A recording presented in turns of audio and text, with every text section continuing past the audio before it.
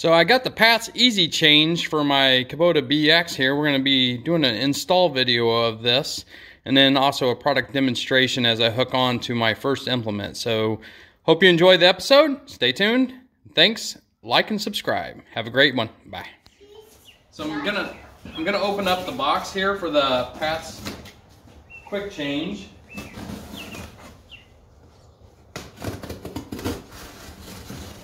We're going to make sure we got everything that we need.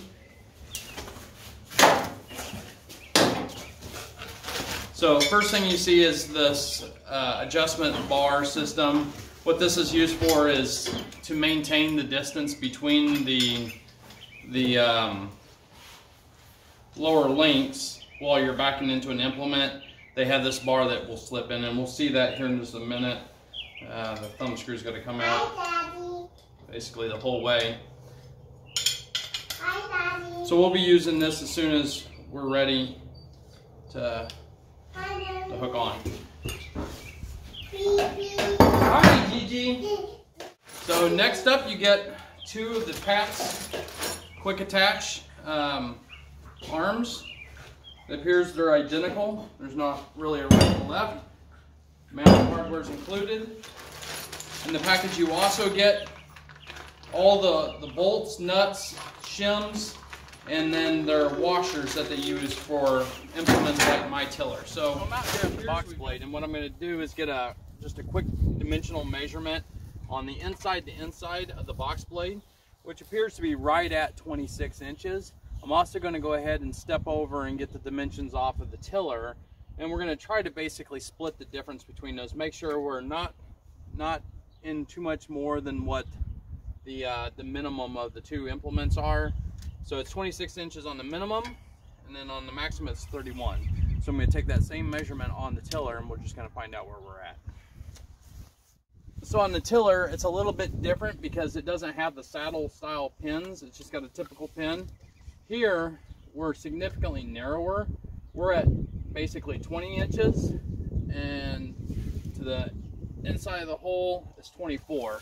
So that tells us we've got some pretty tight tolerances to work with and we may not be able to get it perfect for both units but it is truly an example of where a quick hitch might not be the best option in all cases.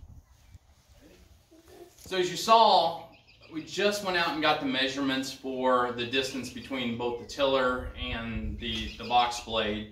What I've got here is this is just a hitch pull bar that I use most of the time for the little bit of weight that it provides. And I also have a ball here. Sometimes you'll see that I've got weights mounted to it. Um, right now it's just, just being put on there. But what's also nice about it is it is exactly 26 inches from the outside to the outside.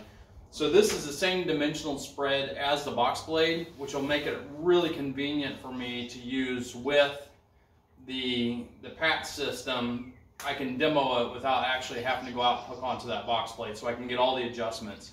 So I'm going to walk through those processes of getting those installed. Stay tuned. So I'm going to start with taking out, they've got a, a cotter pin here. I'm going to tap that out of the hole. Take the pin out. That's the side. So I'm going to first install the, the main pin here. And you'll see on these pins they've got a large hole, and that hole is actually for that crossbar. Oh, that hole goes to the inside, mhm. so you need to line up the, the trunnion ball and that, and that goes in. So after you get this on here, we need to figure out which of the shim stocks that we're going to need. We've got a thin one and a thick one, and I believe I'm going to need the thick one for this BX tractor. So here's my two thick ones. Here's my two thin ones. I don't believe I'm going to need them. The other thing we're going to need is the two roll pins that they send because they use a roll pin to hold the shim stock in place. So what I'm going to do, since I know these are sitting kind of where they need to be, I'm going to inspect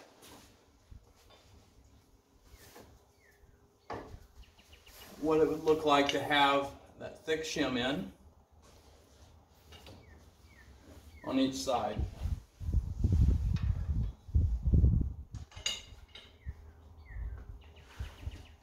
Looking at that, they appear to be going up at the same angle that the um, the lift arms are. So I believe that's is the one I want.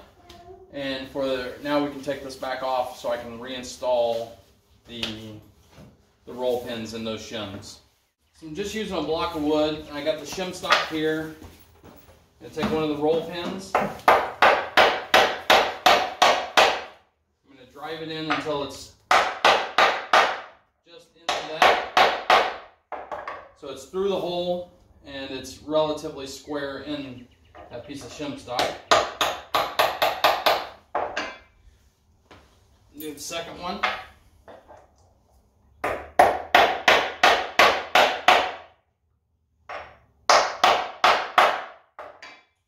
Good. Now I'm gonna pull my cotter pins out. Pull the main pins. Put the shim stock into the pat system. You can see it sets in on the bottom. There's a hole that goes through. Going to reinstall the pat system back onto the lift arms. If I do it the right way.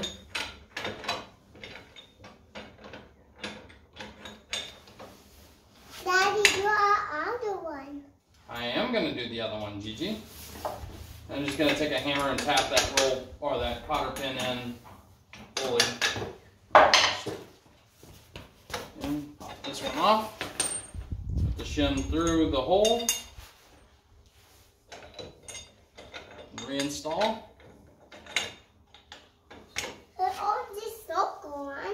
That's called a washer. So shiny, huh? It's like like a piece of jewelry, isn't it? Yeah. And this one too. It's like a one you want yeah. Now that those shims are installed, we're going to put the U-bolts over the lift arm. And the other one, I can do this one. Yep. Uh, it goes back here, sweetie, right in those two holes. Okay. Uh, I'm going to grab two lock or two flat washers and two nuts and run those up real quick. do this one. You're a good helper, Gigi. It's going up. It's going up. Is it? You getting it? Oh no! No, this is not because of where you the little ones. Oh, you gotta put the washer on first. This is the one. No, you gotta put the washer on first. Let me let me do it, and then you put the nut on. Okay? And let me get it started and then I'll let you turn it up. Alright, just spin it. There you go. Keep spinning it. Keep spinning it until it's all the way up. Alright, so we're going to leave those loose for a second while we get the, the bolts that are actually used on the inside and the outside of the arm, and that's used for centering and another one. Yep, we'll use those in a little bit. That just what's done. Daddy, this yep. All right, thank you, Gigi. Careful. Okay. All right, so now I'm gonna take our, my bar, put it back in through the pat system to get my spread of 26 inches, and then I'm gonna adjust the pat system on the lift arms to make sure that they're setting as square as possible to the implement as I can get.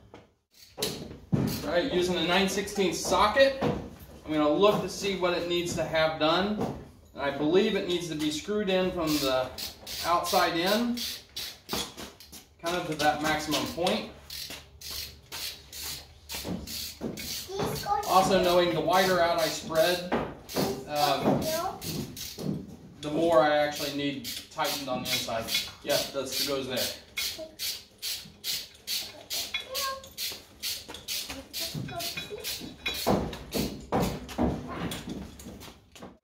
Alright, that should do the pat system for that part.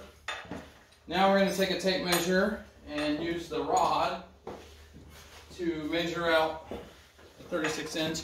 Oh, before I forget, I also need to go ahead and bend these cotter pins. Man, I'm not going to flare them out too much in case I ever need to take it off again. I'm not fighting that. Just enough to keep them from jumping out. These, they have a little hairpin clip rod. It's cute, but I'm not going to really need it because I'm not going to keep this on since it's a it's not really that required. Now, since I know this is 26 inches, I'm going to give myself a little bit of slack. I'm going to lock down that flaring rod and I'm going to pull out this bar.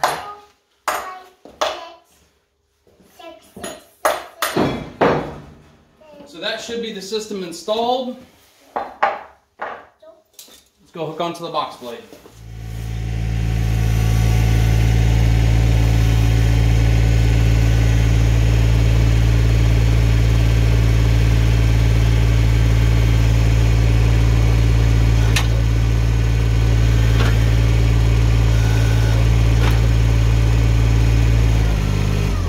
So, one of the reasons that I'm not too concerned about it having a, a quick hitch with all three points connected at the same time as with the hydraulic top link.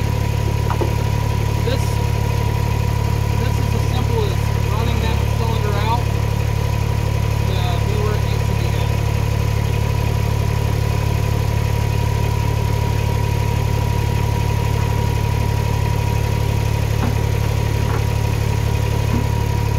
Simple as that. Now, the, the main problem ones are these lower arms. You flip those down, it's in the lock in.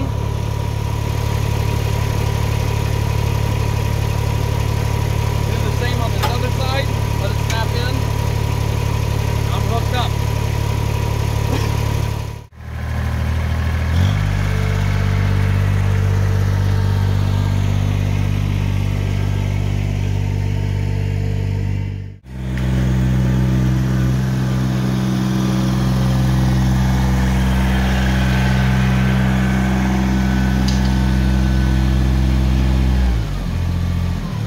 Another reason I went the PAT system over a traditional three-point hitch was with my hydraulic top link that I chose, I went for a little bit longer of a top link because it gave me additional stroke. I was at the bare edges of where this box blade would be effective when it was fully sucked in of engaging either the scarifiers or that front cutting edge. I had plenty of rock down the other way. If I would have got a traditional three-point hitch, or a traditional quick hitch, all I would have done is moved everything back and effe- effectively not gained any additional advantage. By the PAT system, I'm only moving the lower two arms out on that hinge point, which gets me a whole lot better mechanical advantage at this top or not a mechanical advantage, but a lot better positioning. I'm going to go through the swing of motion with this hydraulic top link and the PAT system just to show what I'm demonstrating. And I'll be able to show you some footage of when I first put the hydraulic top link on, the limitations or I guess more the range of motions with the, the box blade at that time. So check out this next little bit of video and you'll see how much better this box blade's going to be. Obviously in the raised position, we're getting more height out of it, which will help for unloading off of the trailer and backing off. But you'll also see that even though we're not swinging in quite as much on the bottom side of the stroke or the stroke of the cylinder, we'll still have plenty of engagement with that um, that back blade if we're going to cut back.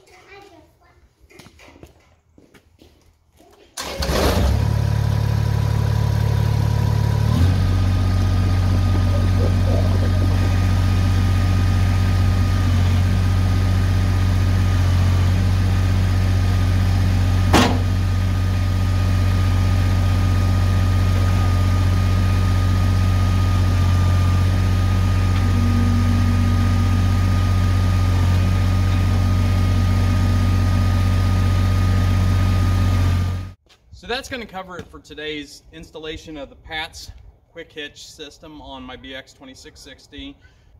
Keep an eye out for a future video. We're actually going to be using this box blade to build a parking area for an RV as well as dress up a parking lot. In that video, we're going to demonstrate the advantage of having a hydraulic top link with a box blade over what you would normally do with the mechanical top link. So stay tuned for that video coming out shortly. Thanks and have a great day.